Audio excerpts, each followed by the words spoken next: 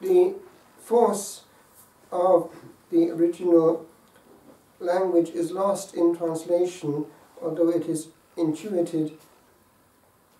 You must name him Jesus because he is the one who will save his people from their sins.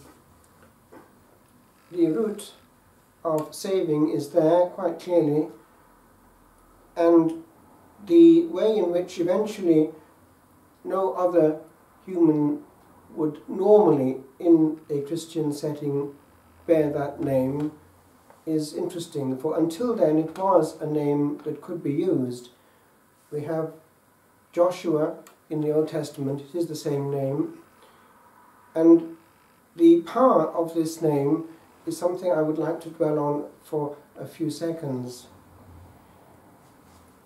In one of the readings we had these last days, it was actually from Sophoniah, we had the Lord preparing his people through giving them a pure speech, a pure lip in the Hebrew.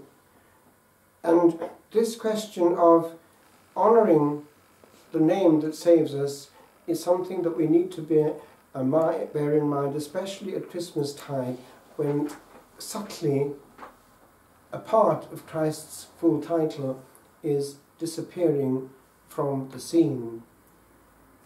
If one looks carefully, it's just being eroded and it's no longer really correct in certain situations to talk about Christmas as such. It is the holiday.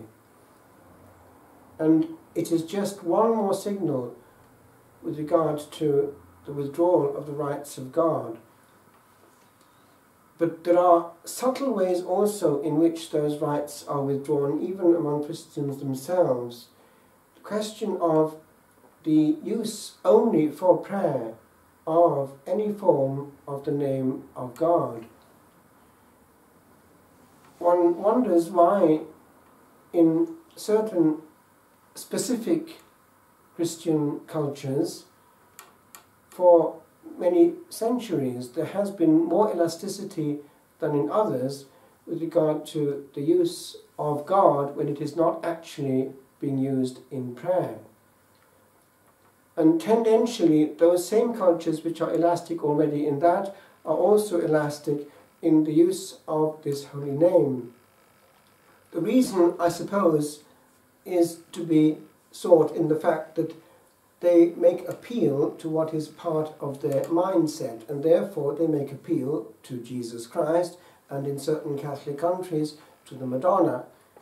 In other words, they take what is available. The B side is that they're taking what is also most precious and making it available for the wrong end. It happens even amongst the pious.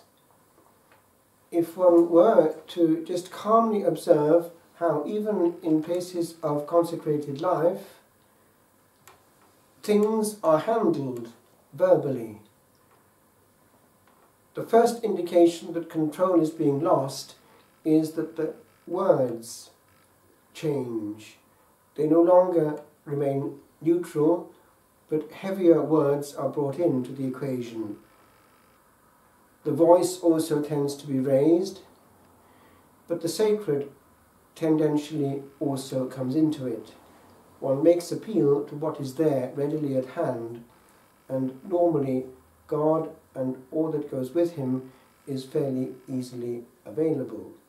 And so, in fact, in even places where God officially is being honoured quite a lot, and even professionally, that other bit too is coming in. Sometimes more than one would expect. And yet, few seem ever to pause and ask, what is going on here? Can we actually, in prayer, be even bowing the head, I mean, even physically, at the holy name of Jesus, and then, in another context, but in the same place, not realize what's going on if one is actually, yes, bringing God down to our levels and offending Him. Showing at that point, at least in our existence, that we're not in a mode of prayer, at least at that point, and we're not, at least at that point, in mode of relationship either. Something has gone. It's no longer one linear movement. One cannot offer up as a prayer all the actions of the day and all the words all the thoughts, as quite a lot of us would in the morning, if some of those words in practice are sins, offences. We're playing the game precisely of the same force which wants to remove Christ from Christmas. With regard to the specific scene that we have in the Gospel, it is actually quite touching. In the case of our Blessed Lady, the Archangel Gabriel is sent, as it were, physically and visibly. In the case of Joseph, in continuity of mode with his interior and quiet and withdrawn personality, it happens just with a dream more than once. Dreams, normally, as we know, are just an ongoing of the world of the subconscious, the brain, the mind working overtime, sorting out things that have come in the day, and also perhaps worrying about things to come.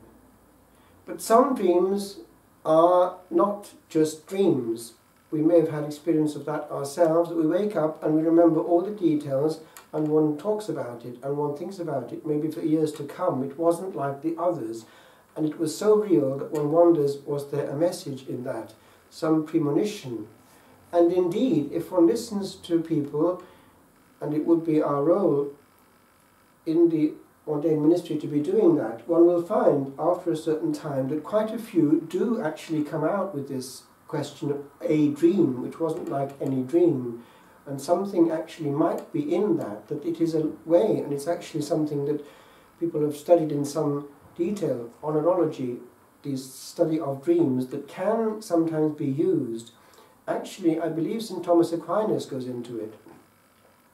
It is a means of communication sometimes between the heavenly realm and our own. It can be, for instance, allowed by divine providence that somebody on the other side from our family might be in need of prayer, and this could be one fairly gentle means of getting a hint through to us. Don't forget so and so. And sometimes they appear later on in a dream, another dream, in great light, and so on. It happens, it has always happened.